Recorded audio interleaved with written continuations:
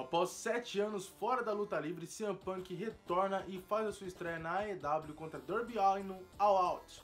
Logo em seguida, ele tem a sua luta televisiva pela primeira vez em 7 anos contra Powerhouse Hobbs. Tá, mas e aí? O que será de CM Punk e quem ele irá enfrentar depois? Senhoras e senhores, esse é o 5 possíveis rivalidades para CM Punk. E eu te conto logo após a vinheta.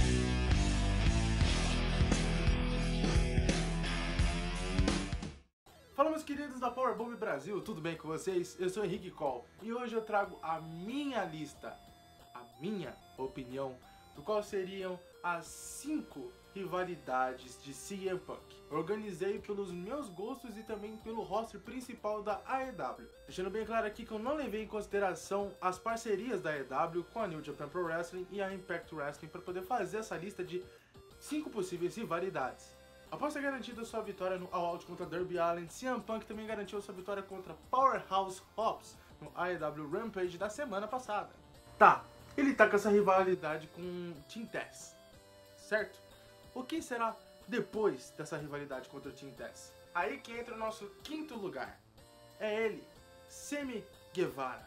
Ele acabou de encerrar sua rivalidade contra Shawn Spears e agora está entrando numa nova rivalidade contra o Miro pelo TNT Champion.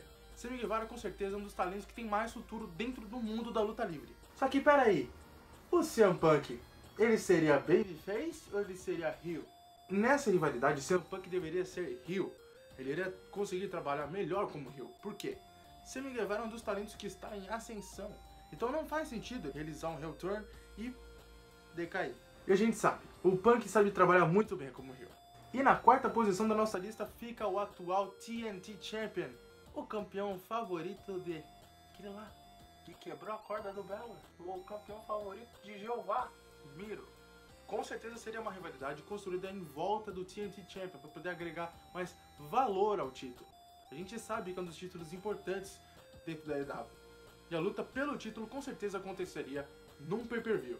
E após essa rivalidade contra o Miro e ter conquistado o TNT Champion, entra o nosso terceiro lugar da lista.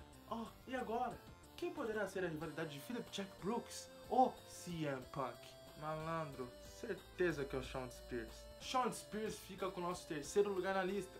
Bom, coloquei o Shawn Spears nessa lista porque com certeza é um dos lutadores que daria muito bem uma, numa rivalidade com o CM Punk. Além de elevar o seu nível dentro da empresa, ele teria mais.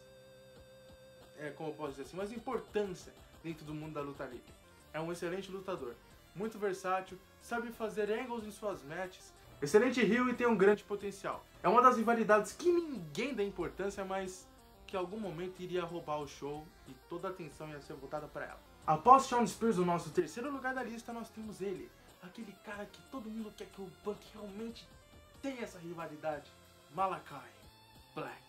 Ah, por que, que a gente espera que o Punk tenha essa rivalidade com o Malakai Black? Porque o estilo dos dois é muito baseado no Muay Thai, no kickboxing. E com o personagem de Malakai Black muito bem construído, até espetacular a maneira com que ele coloca isso dentro do ringue, das lutas, das angles, das promos, em tudo que ele faz, ia ser uma excelente rivalidade. Os dois iam conseguir trabalhar muito bem dentro do ringue. Punk tá meio enferrujado, a gente sabe, tem que passar um WD na junta. Mas como o Malakai é um dos caras que tá no seu auge, um dos seus auges da carreira, os dois com certeza iriam fazer uma excelente rivalidade. Queria aprender todos nós na frente da telinha assim. Nossa, gente, isso é o puro suco do PW. Ai, coisa linda. E você acha que para por aí? Não, muitos ataques e promos você poderia esperar dessa rivalidade. Depois de falar do nosso segundo lugar, que é Malakai Black, nós iremos falar do primeiro agora. Mas antes eu gostaria de pedir para vocês, por favor, não se esqueçam, se inscrevam no canal, ative o sininho para receber todas as notificações e não perder nada do mundo da luta livre, tanto nacional quanto internacional.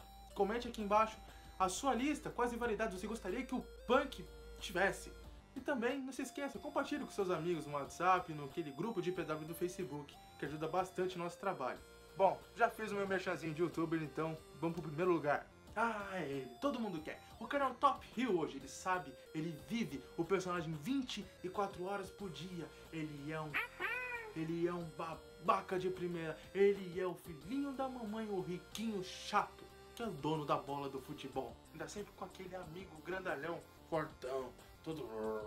É esse mesmo. Maxwell Jacob Freeman, MJF. Não tem como.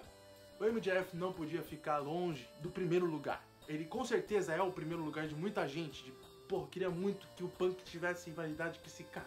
Também ele tá em ascensão.